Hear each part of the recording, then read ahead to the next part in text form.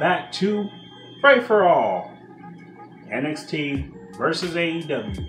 Those who have been tuning in, you already know it's all about. No, we don't care about ratings, we just care about who did the best content between each show. And um, it was actually a good week. Very interesting show on both fronts. And cannot wait to get into it. Before we get into it though, let's get this over with.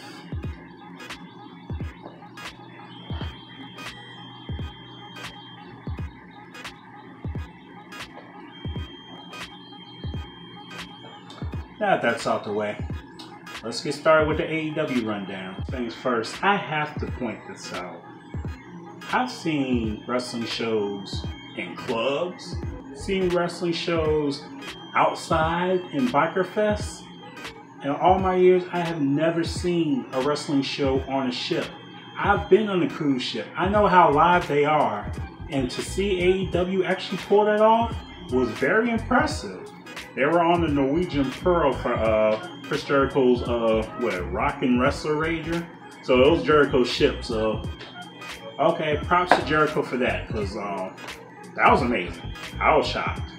First match of the night is Hangman Adam Page and Kenny Omega versus Scorpio Sky and uh, Kaz SCU for the Tag Team Championships.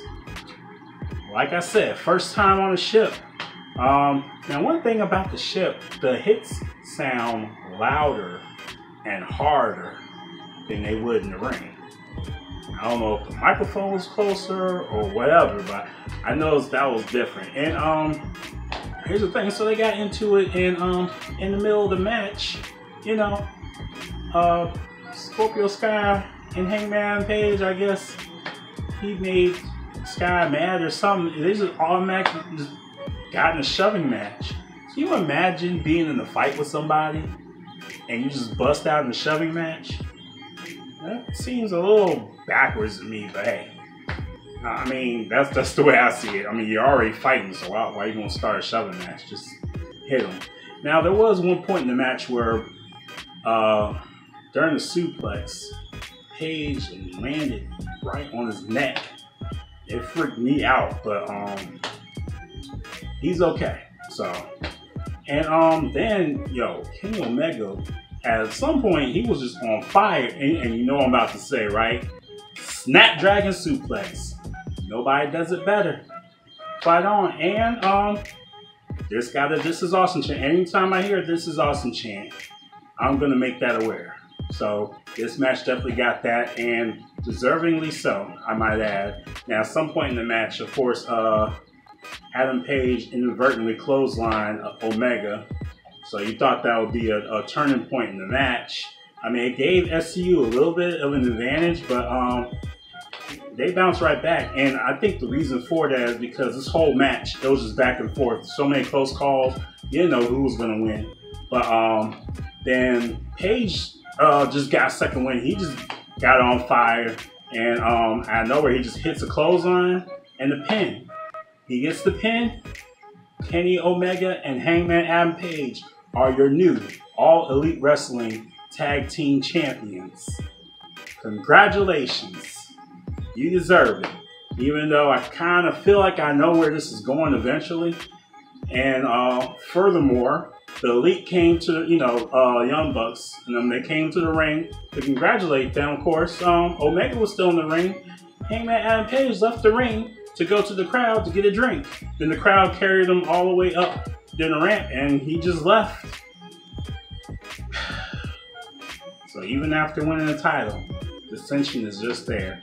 Anyway, awesome match. Congrats to those guys. Okay, it may be cold outside, but it's very hot in this lab. I had to change my shirt. I don't know why I was thinking of even uh, wearing that flannel shirt in the first place. Anyways, next match was Britt Baker versus Priscilla Kelly. Uh, Priscilla Kelly, I don't know what she was doing, moving around, screaming, all over, just everywhere, just doing the most. I'm all like, dude, girl, what, what is wrong with you? Man, sit your ass down. As Britt Baker came out, JR was like, yes, she is a, a dentist. For real. JR, when you say for real like that, what that does is uh, undermine, you know, everything that's going on. You pretty much weaken kayfabe, and um, you just don't do that. It's still real to me, damn it! So I got a lot of Baker fans out there, but she's still very, very slow in the ring to me. Like,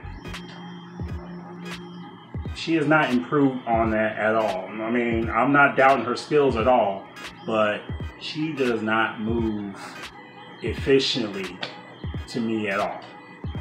One thing I did notice, she's starting to fight a little bit dirty. Yeah, I, I did notice that. And uh, one thing that really took me back, Priscilla Kelly hit an STO. When I used to play the WWE games and all that, that used to be my favorite move to do. I would uh, go off the rope and hit somebody with a running STO, like boom. I'm like, man, if I can just have that as a finisher, I would have been happy about that, man, for real. So eventually, uh, Britt Baker wins with the lockjaw. Of course, Kelly taps out.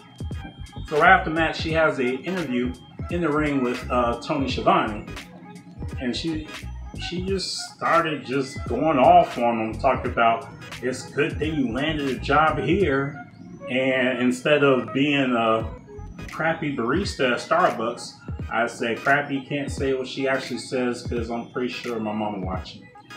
So, uh, and then she talking about uh, she the hottest girl on the ship and all that stuff, but she pissed JR off so bad that they just went to commercial break. So I guess it's safe to say that her circle of a heel turn has completed. You saw it coming. You had the Jurassic Express versus the Inner Circle. Of course, the crowd was singing to Chris Jericho's theme song. I mean, it's his ship, so of course they're gonna rock to him. Now, I will say I was loving the moves in this match. I mean, when I said I love the moves, I mean from mainly from Jurassic Express. I'm talking about Marco Polo, uh, Dino Libre, and Dylan McKay Jr. himself. yeah, I said that. Anyway, so eventually, uh, Hager fights Luchasaurus off. Uh, Jungle Boy was somewhere around ringside and he got knocked off or something. So it was uh, Marko Stunt and Jericho. Marko Stunt was holding his own, but out of nowhere, Jericho hits the Judas effect and gets the pin. Of course, he's going to get the pin on his ship. I'm just saying. So next you had MJF versus Joey Janela. And it looks like Joey Janela was singing some old school Mario the night before. Yo, this this crowd was live. I mean, they were saying some chants that I'm not even going to repeat on this show because, uh, at least for the time being, the show is PG. So, uh, yeah, these chants were not. So, and at one point in the match, uh, MJF, you know, act like he was going to walk off, so he started walking to the back. But uh, he basically did it to bait Joey Janela. And MJF attacked him right up the ramp. Now, at some point in the match, they were going back and forth. Like, I know MJF grabbed the ref into his way, then uh, Joey Janela snatched away. Like, y'all better stop messing with Aubrey. Let her do her job. Seriously. Don't do it like that. And um, Kip, Kip Sabian and Penelope Ford, they came up the ramp, and uh, the distraction was long enough for MJF to hit the double cross, and he picked up the win.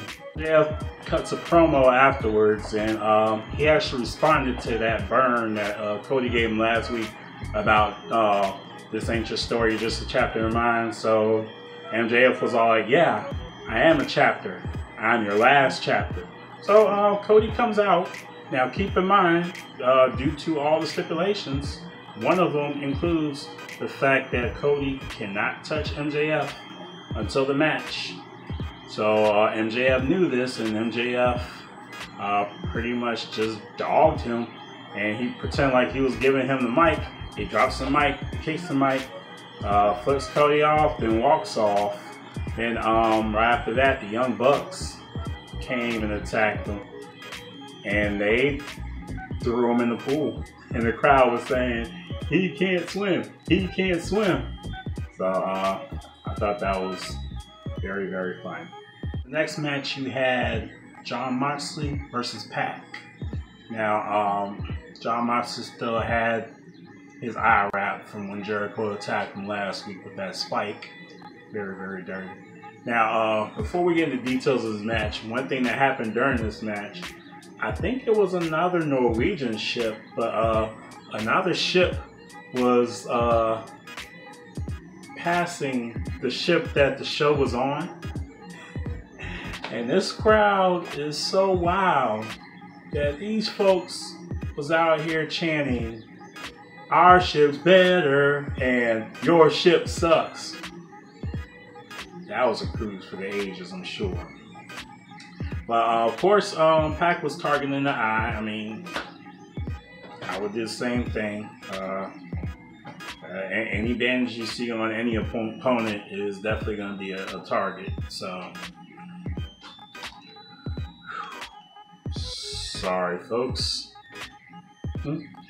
So, uh, during the match, Pac had a very nice looking uh, German suplex. Um, then, um, Jon Moxley hit Pac with the DDT. It, it looked more like how Dirty Deeds look in the WWE. So I thought it was the finisher, but uh, Pac kicked out. So apparently, um, I realized Paradigm Shift is a little more exaggerated than Dirty Deeds.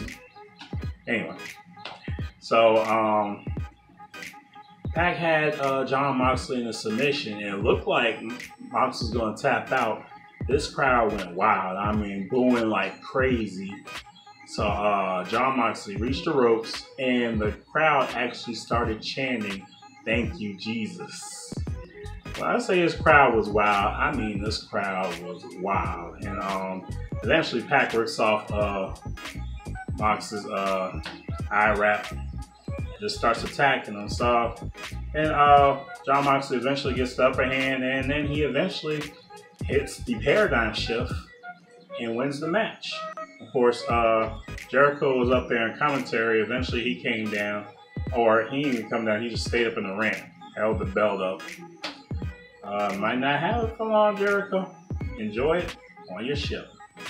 For superlatives, uh, for that segment, actually put the whole MJF thrown into the pool thing as the best segment because felt the greatest to me. Best promo went to MJF because he played off of uh, Cody's burn. I think Cody had it last week, so yeah. And um, in all fairness, there really weren't that many promos. I mean, there was couple of interviews or whatnot, and there was one interview I forgot to mention. It's when they interviewed um, Omega and Page, and Page got frustrated because every time he was talking, he got interrupted, whether it was Schiavone cutting him off, asking Omega another question, or whether it was just the Young Bucks just coming in and uh, he just stormed off. During this whole time, he was holding a drink in his hand. Um, I'll be honest with you, I don't know how I feel about this whole alcoholic. Um, whatever he's uh, portraying. I mean, I, I, I know they gotta be realistic with it, but I don't know. I I don't care for it because I mean I know it's eventually gonna lead to a, a rip, but you, you know, a lot of people are they, they have a lot of ghosts with alcohol, and I just think for some people watch this, and I know some people are like, well, if it bothers you, don't watch it, but you just gotta think about the audience that you're entertaining. That's all. Like I said, not, not just drinking. I'm just talking about drunkenness and um, wild behavior and whatnot. Anyways, uh, that storyline, or continuing storyline, I put that as uh, Cody and MJF. Now, I could have put that as Jon Moxley and, and Chris Jericho, but um, being that Cody and MJF finally uh, confronted each other face to face, I gave it to them tonight. And um, crowd favorite, uh, tag team of Omega and Page. They had collectively, I think they had 15. And since they were a team, that means they combined. So, and match of the night was um, Omega and Page versus SCU. Because that match was awesome. Now, as are AEW superlatives. And for NXT tonight, first match. Of course, it's a uh, match within the Dusty Rhodes Classic tournament. It is Undisputed Era, Fish and O'Reilly versus the Grizzled Young Veterans. So, um, as the Undisputed Era was coming to the ring, uh, Adam Cole went to announce announcers who like, I know Imperium's here. Uh, like I dared them to show up, you know, all that stuff, trying to sound all tough. Uh, yeah, don't act tough now. You know you're scared. Anyway, so uh, there was one spot in the match. So O'Reilly had Gibson up in a you know vertical suplex position in the air, and uh, so Fish, I guess he was supposed to have kicked Gibson in the head. He actually kicked O'Reilly in the shoulder. And ladies and gentlemen, welcome to another installment of Ain't That a Botch? Now, for AEW, what? What? Are you serious? Okay. Our incident comes from NXT tonight. Well, that is a first. Well, you know what? Let's not waste time. Henry, roll that footage. Riley now the legal man. Riley now the legal man. Wow. Way to kick your partner in the back, huh? That gives a definition to backstabber. Definitely. Now, I know his foot had to land somewhere. Some people will say I'm nitpicking or I'm doing too much to actually call that a botch, but here's what I have to say about that. It doesn't matter what you think. I couldn't say any better myself, Rock. With that being said, back to the fray. So after this, um, Imperium's music hits. Of course, the crowd sings Imperium's song, and they're just standing up there. They they didn't even come and attack for real. And but yet the distraction was long enough for the Grizzled Young Veterans to hit their finisher and get the win. So they advance in the Dusty Rhodes Classic. Next match is Toni Storm versus Io Shirai. And I got to say, I love Io Shirai's moves. Like, uh, it's like something out of a video game sometimes. Uh, whether she's doing uh, Shoryuken or uh, just all around flips around the ring. And, you know, Toni Storm, she ain't no slouch neither. Of course, uh, the match didn't even finish. The Bianca Belair attacked both of them. She first attacked Toni Storm, then I think she, you know, briefly attacked Io Shirai. Um, then uh, Rhea Ripley came out, started fighting Bianca Belair. Then uh, Io Shirai joined in, and uh, Toni Storm joined in, and that's pretty much the gist of the whole thing. Match you had uh, Finn Balor versus a Xenomorph. Now this one get what? Really? Okay, I'm sorry. You have Finn Balor versus Joaquin Wilde. One Xenomorph? Okay, well, he needs to stop wearing that thing on his head then. Anyway, so Finn Balor versus Joaquin Wilde. Uh, Finn Balor wasted no time. Let's see, he got in there, he hit this deadly drop kick. Uh, hit, I think he hit the coup, a coup de grace first. He hit him with 1916, and uh, the match is over. I mean, what was left of the match? Well, that didn't take too long. The next match we had was Shotzi Blackheart versus Shayna Baszler. Now, at the beginning of this match, you know, uh, Baszler did this, you know, quick wrestling move, and she kind of tapped Shotzi on the head as a taunt. I was like, yeah, that's straight gangster right there. Now, if you told me this match was going to happen, regardless if Shotzi Blackheart eliminated um, Shayna Baszler in the Battle Royal last week, if you told me this match was going to happen, I would have said it would have just been uh, a blowout, uh, Baszler hands down.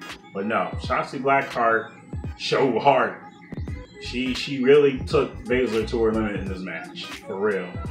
Now, uh, Baszler uh, won via submission, uh, but um, I'm gonna be honest with you. I think that was a bit of a wasted opportunity. I'm gonna tell you why. Okay, of course, uh, we know Shayna Baszler is that chick, but imagine if Shotzi Blackheart would have gotten, I can't believe I'm saying this, a roll up pin or something like that over Shayna Baszler, you know, something out of nowhere. I thought this would have did a great feud for them that they can drag out because here's the thing. Shayna Baszler, she's been champ for a very long time. We haven't seen her as a normal competitor for a while, so I thought this would be a, a great opportunity to put her in a feud outside the championship for a while, let that get some more airflow, whatever. And at the same time, Shotzi Blackheart, Shotzi Blackheart level could rise up. I mean, I thought both women could have benefited from a longer feud. Now they could still do it because of how good Shotzi Blackheart looked in the match, but I thought, you know, just a fluke win would kind of spark uh, a type of beneficial feud between the two. Now, I could be wrong. I'm not a NXT uh, writer, but, you know, I just thought that would have been a good opportunity for that, but that's just my opinion. Anyhow, uh, Baszler won. That's how it is. There was a Tegan Nox and Dakota Kai interview. So, um, being that they had an interview, uh, to me that keeps the feud going because uh, I think that's a feud that's definitely going to explode. And there was a Garza interview, you know, about him defending the belt, whatever. Anyway, on to the next one. So we had Imperium versus Riddle and Dunne, or Broserweight. Now, um, this was a hard hitting affair. But before we get to a hard hitting affair, just like Joey Janela at AEW, I think Matt Riddle was listening to some old school Mario the night before. And Pete Dunne had some wonderful moves in this match, man. I mean, from a clothesline to a crucifix bomb and uh, all that. It's like for a period of time. Yeah, I keep dropping this. For a period of time, Pete Dunne was um, pretty much owning the match when he was in there. But then the one thing that I was waiting on, a confrontation between Pete Dunne and Walter the guy who dethroned him after 685 days. There they were. Of course, I was long enough for um, Imperium to uh, get the upper hand from that distraction. So they had the upper hand for a while, but eventually Riddle and Dunne came back and uh, they won the match. And this was a great match, very hard hitting fair. Uh, I expect nothing less from these guys. Um, right after um, Broserweight won the match, you know, they went up to the uh, trophy, and they were confronted by the winners of earlier tonight, the Grizzled Young Veterans. So, of course, they get on mic. Uh, first of all, they called Pete Dunne selfish, saying that uh, he held them back in NXT UK or something like that. And uh, Riddle was all like, uh, "Were you saying something? Because uh, I understand words you said anyway." And uh, Pete Dunne was all like, "Okay, while your head was in the clouds." Uh, let's just let them know we're still gonna beat these two next week, and that's pretty much uh, how that ended.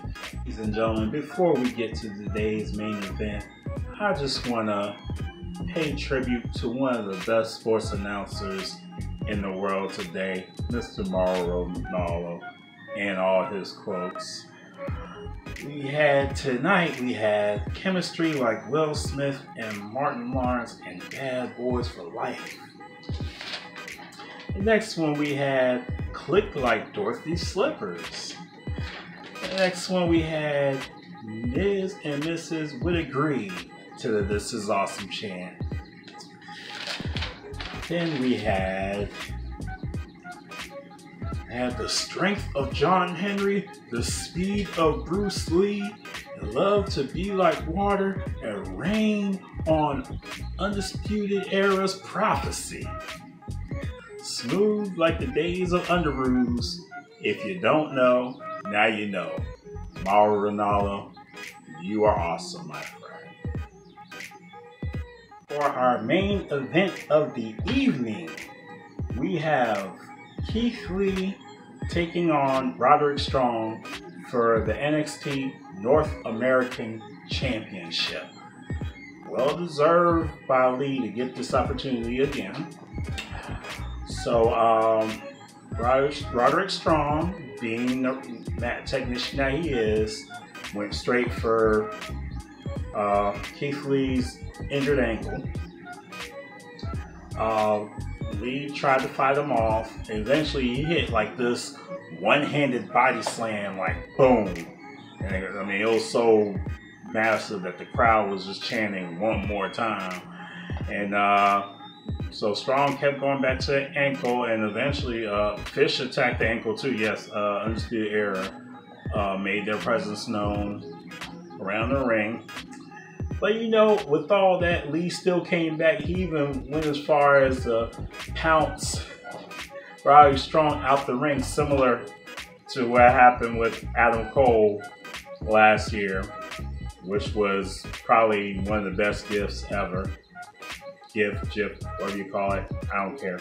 Anyway, so um, at one point in time, all Undisputed Era was distracted or knocked down or whatever. So he hit, uh, Keith Lee hit Roderick Strong or with some finisher. I think it's called a big catastrophe. I'm not sure. Whatever it was, the ending result was Keith Lee is your new, reigning, defending, undisputed NXT North American champion. And we shall all bask in his glory. Yes, I'm happy because I love Keith Lee and he deserved that. That dude is a beast. However, that wasn't necessarily the end of the night. Congrats, Keith Lee. Imperium came out to confront Undisputed Era, and a fight ensues. So, of course, officials came to break up the fight, and the crowd was chanting "Let the fight." But before that, uh, dude hit Adam Cole with the, the biggest knife edge chop. I thought his chest was five feet back. I was like, wow. But that's actually how NXT ended. So for best segment, I have Undisputed Era and Imperium Brawl. Best promo, um, I had it between the Grizzly Young the veterans and Broserweight, that whole conference confrontation. Best storyline being that they had a vignette, and I think it's one of the strongest storylines going on. Uh, Dakota Kai and Tegan Nox. Crowd favorite tonight was Keith Lee with 10 Chance, of course. Match of the night was Imperium versus Broserweight. And that is your NXT superlatives. So, with that being said, we will see, you know, the overall results, and let's see who won Fray 4 All.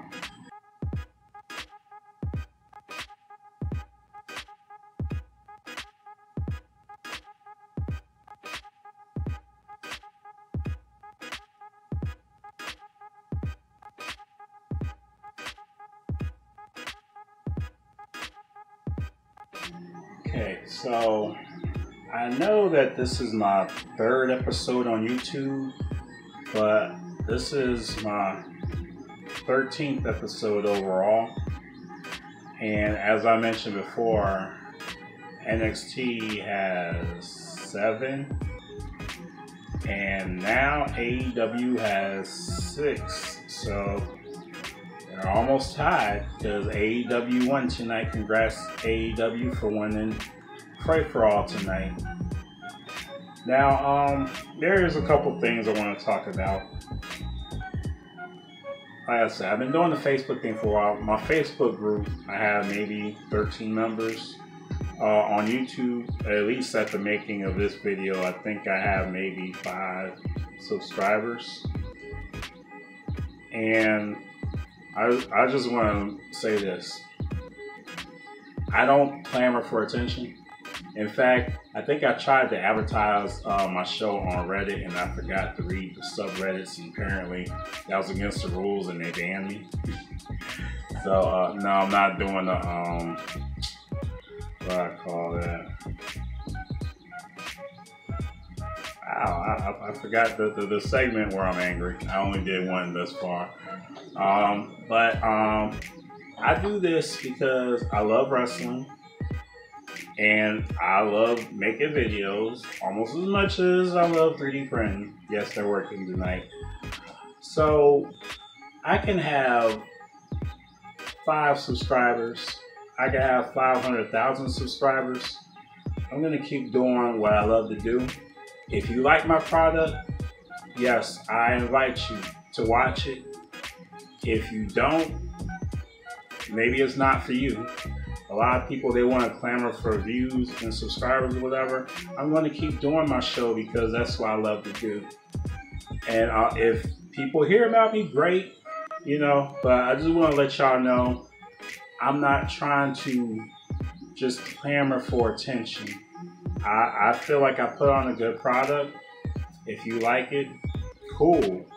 If not, at least you're seeing me doing what I love to do. And honestly, that's all that matters. And um, I'm also saying that because that's what you need to do in life. You know, you don't need everybody to see what you're doing.